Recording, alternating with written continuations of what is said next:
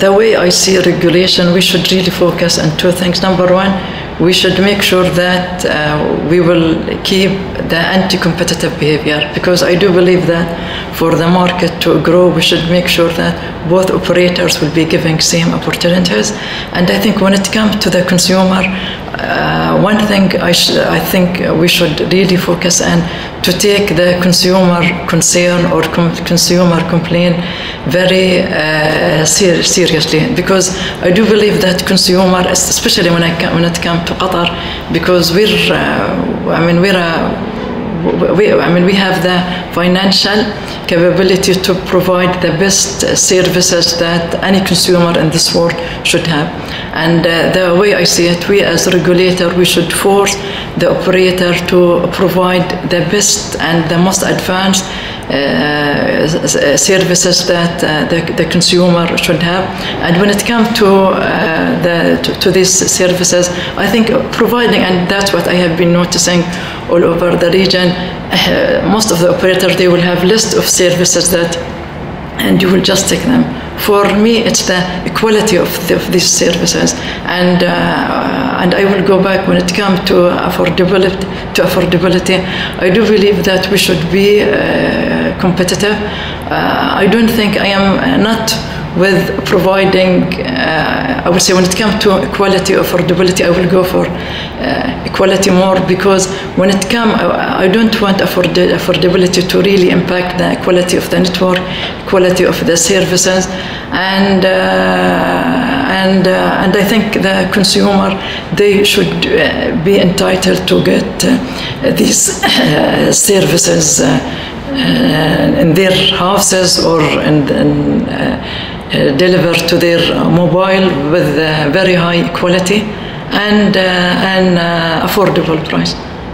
The e-commerce law was uh, approved and was published now for almost one year and uh, I think uh, drafting the law is one thing. The other things which is very critical is uh, to make sure that the foundation to implement this law, this law and use it is there. So I think for, for ICT Qatar, and uh, we thought that best things is to make sure that the small, medium uh, companies, they will be 100% uh, utilizing the power of this law. And and for me it's very easy to say it. I will say we will just we had issued the law we are drafting the executive bylaws and we will be forcing uh, uh, the uh, the uh, power of uh, this law. But this will not work unless we will be having small businesses and or businesses who are really willing to use it. So they need to know uh, how to use it. They they need to uh, really uh, uh, find out what what how their businesses will be uh, benefiting from uh, this law. Business to business, it's easy. Where big companies will go and do business with big companies, the address is very clear. And I think when it comes to consumer to business, the main challenge is uh, it is still the delivery to him to home it's not very well uh, established like in the US or in Europe. So if, if, if you would like to order, uh, to order if I will go to um, Amazon or maybe something from eBay or whatever, I mean in the state or in Europe, uh, they can deliver it 100% to your home.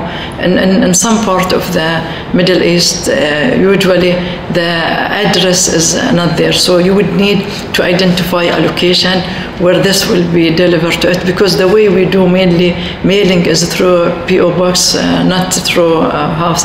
And and I think that is one of the challenge that uh, we should solve it for the uh, consumer to business e-commerce will uh, will really take um, a little bit more market here.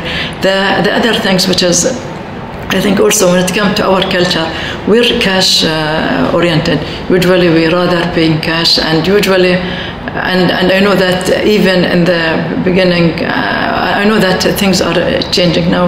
I remember when Vodafone they came here. For them, usually the only thing they, I mean, the uh, services they had provided mainly they will uh, charge your, your account through your uh, credit card, and I thought that was will be very difficult for them to do. But it ended up to be people they are changing around only 5% who are willing to go on the internet and use the e-commerce to get uh, what they need uh, through uh, through online. And I, and I think uh, the way to work with that, uh, and I think we need, yeah, we really need to encourage. Maybe we need to encourage to providing and uh, new services there. We need to encourage by making it something. part of the kind of maybe how people they will increase the trust on the e uh, transaction. And it's uh, I mean we're only the beginning. It's so hopefully in a year we will be having more than uh, 15% doing their uh, or shopping through the e-commerce.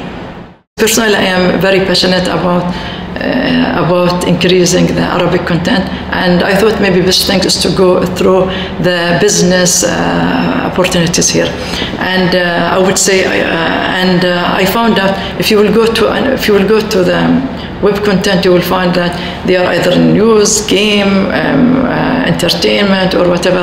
In all areas, you will find that we are really lacking. And I noticed most of the uh, of the investment goes in the search engine. And I don't think we need an Arabic search engine. I think the existing search engine, it's, uh, it's fine. I think we really need to go and create the content for all the existing search engine.